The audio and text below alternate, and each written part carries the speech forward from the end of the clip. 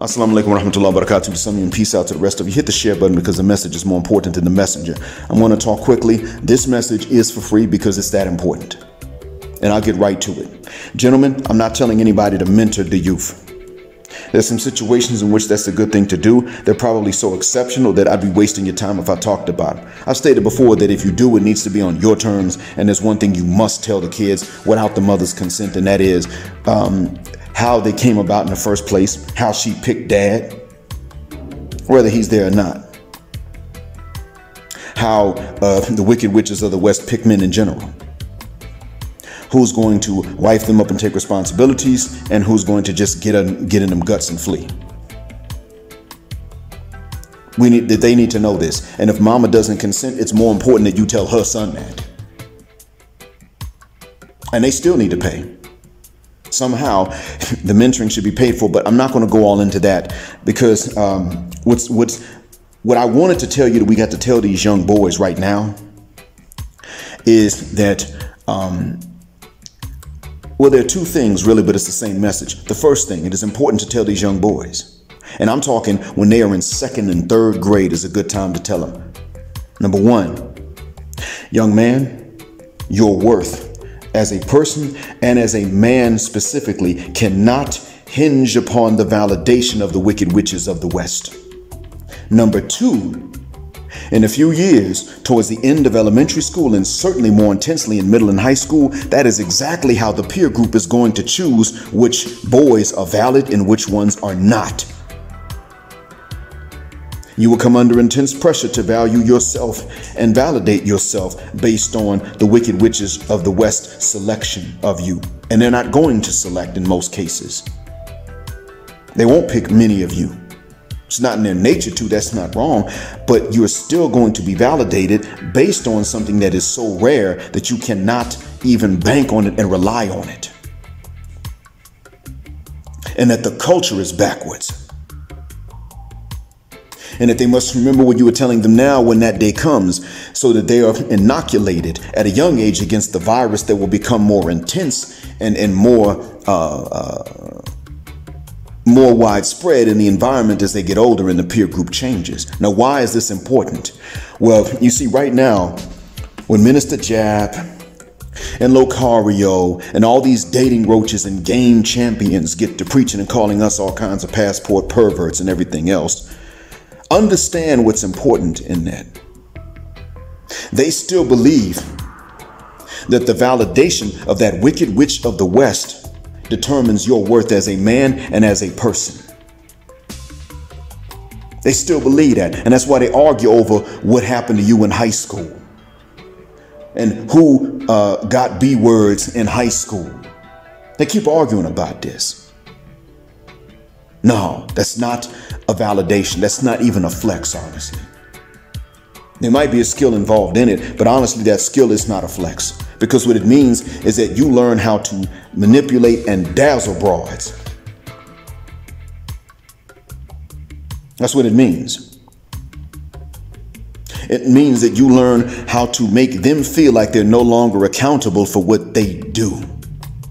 And that's all they've ever wanted the authority of the man, the accountability of the child, and the privilege of the woman.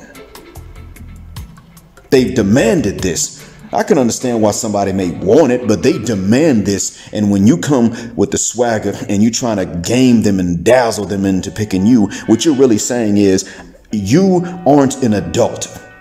You don't get to pick based on what you yourself want and choose. You're a kid, and I'm still going to reward you as a child, mentally speaking, with this ding dong because you're physically grown. That's the mistake. And that is not okay. When I stated that the one thing we've been doing wrong as men is being too easy above and below the belt, notice everything else comes under that umbrella whether you're part of that 7 to 15% that many of them choose in the West, that they pretty much all choose in the West uh, to bump uglies with, or whether you're part of the vast majority uh, to whom they want to present the bill for all these things so that some other guy can play, so that that minority can get the guts and get the fun. Whichever one, you generally have been too easy, and you're beginning to not be that easy anymore, which is great, good, excellent. There is the progress, there is the change. But I want us to make progress more quickly than what we've been making it. And the reason that I want us to make this progress more quickly than what we've been making the progress is largely because See, these the, the sisterhood, the hyenocracy, is making progress on an annual basis. Hashtags come out and more of them jump in. Divest, that's growing. But it's not just divesting. It's also blame the, a brother. They don't have that hashtag yet, but it's coming. Unalive black men waste his time, get the bag. Cheat on him, do him wrong all this stuff. I got a book out, How to Destroy a Man, or what is it? No, Destroy a Man Now. I want you to stop and think about that.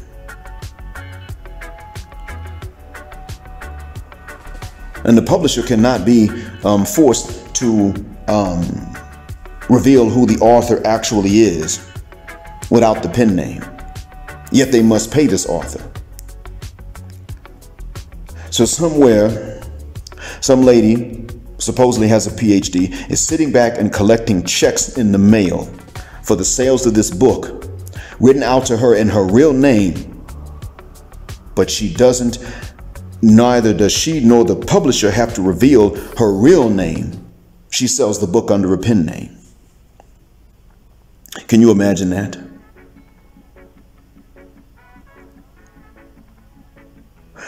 Meanwhile, Many of us have to sit up and think about how we're going to even reach a young black boy that's in second or third grade to tell them what they need to know to break this mother cuss word cycle. So that his mama don't get to turn him into another son husband like she wants to. And believe me, she wants to. She's looking to turn him into a son husband if if no if nothing stops her then that's what she's going to do because that's in her interest. Why not? This way, she doesn't have to keep a man. Because somewhere in the back of her mind, she knows that she can't keep the guy she wants anyway. She wouldn't want him if she could keep him.